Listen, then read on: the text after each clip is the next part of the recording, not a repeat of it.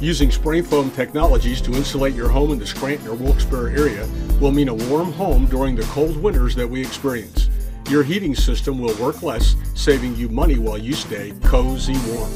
At Spray Foam Technologies serving Scranton, PA and surrounding areas, we've been spray foam insulation contractor experts for over 40 years, so we have quite a bit of knowledge about spray foam.